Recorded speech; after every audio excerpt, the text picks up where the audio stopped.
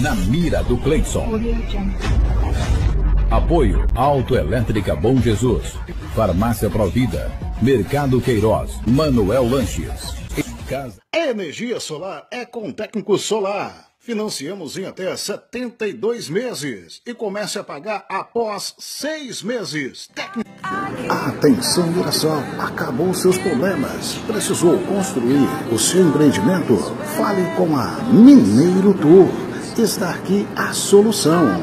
Bem, estamos na MT que liga Mirassol do Oeste a Curverlândia e ontem um senhor parou por aqui, nessas imediações, para tirar água do joelho. Ele estava numa moto, de repente ele escutou alguns gemidos e veio ver e encontrou por aqui, mais ou menos nessa localidade, um cachorrinho dentro de um saco. E nós vamos mostrar para você essas imagens de cortar o coração.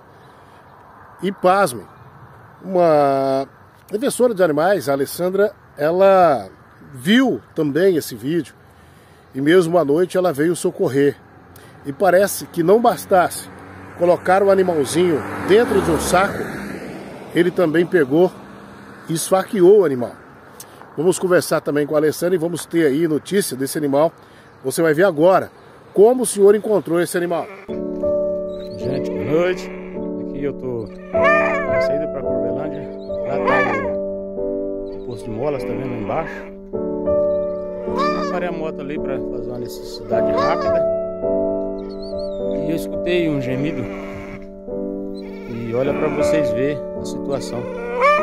O ser humano, o ser humano ele ele é digno, eu não sei, eu não, não tenho como descrever do que o ser humano é digno. Preso dentro do saco. Olha a situação aí, ó. Amarrado para a boca e jogaram aqui, ó. Na saída para Mirassol do Oeste. Então, gente, a gente não consegue descrever o ser humano, não. Um, um ser humano que faz esse tipo de coisa, ele não é filho de Deus. Ele é filho do Satanás mesmo. Olha o bichinho aí, ó. Você tá vendo? Não tem condições desse tipo de coisa. Então é complicado, cara. Eu vou soltar o bichinho. Olha a situação aí, ó. Ninguém sabe como é que tá. Sabe? Ó. Coitado, sabe? Oh, meu Deus do céu. Como é que pode, cara? Olha a situação, ó. Jogaram com saco e tudo aqui, ó. Aí, ó. Gente, não, não é, é, complicado. O tal do ser humano é complicado, viu, cara? Olha aí. Você tá doido? Não, não dá. Um, um cara que faz esse tipo de coisa aqui, ele não é filho de Deus, não. A pessoa vai me desculpar não é filho de Deus que faz esse tipo de coisa não. Um cara desse aqui, ele é filho do satanás mesmo, um cara que faz isso aqui, ó. O bichinho tá aqui, ó, amarrado, a boca, o bichinho aqui, ó. Sabe, tá vivo. Tadinho. Olha pra vocês verem, gente, ó. Não tem condições. Eu não, tenho condições de levar embora. Eu tô de moto. Você tá vendo, ó? Com um alívio, que eu tirei ele dentro do saco, ó. Saindo daqui, onde a gente está agora, depois dessas imagens que a gente viu, Vamos sentar conversar com a Alessandra Demolim e saber como é que está o animalzinho. Se ele vai sobreviver, se ele não vai sobreviver. E se realmente ele estava com marcas de faca em seu... Pessoal, como eu disse, sair lá de onde foi encontrado o animalzinho, o cachorrinho, vimos aqui com a Alessandra, ela que é uma das defensoras dos animais. Alessandra, é, é, a gente viu um vídeo de você falando é, que ele tomou algumas facadas. Né? Realmente ele estava com, com marcas de ferimento de arma branca, que seria faca. Bom dia, Alessandra. Dia, Cleiton. Bom dia a todos. Então, é, teve um senhor, um anjo, né, que parou próximo do local ontem à noite, com escuridão. E esse senhor parou, como ele fez um vídeo também, né, é, para fazer uma necessidade e viu ele chorando. Rapidamente ele colocou no grupo e eu com o coração na mão, fui até lá mais meu esposo e peguei o cachorrinho. Realmente ele estava com quatro, cinco perfurações na cabeça. Uma, duas foi bem assim, bem fundo mesmo.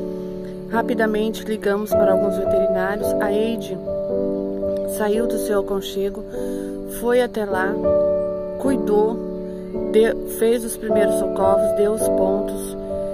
Temos, né, só que agradecer ela. É, à noite, trouxe embora, à noite passei em claro com ele, é, chorando de dor, gemendo. E agora eu acabei de chegar, né, da Paula, levei lá para ela agora e ela tá dando um coquetel porque ele não tá andando. Não sabemos se é a gravidade da perfuração ou é a gravidade ou se afetou alguma coisa que ele não vai andar, tá? Mas até então ele tá sendo bem cuidado, graças a Deus.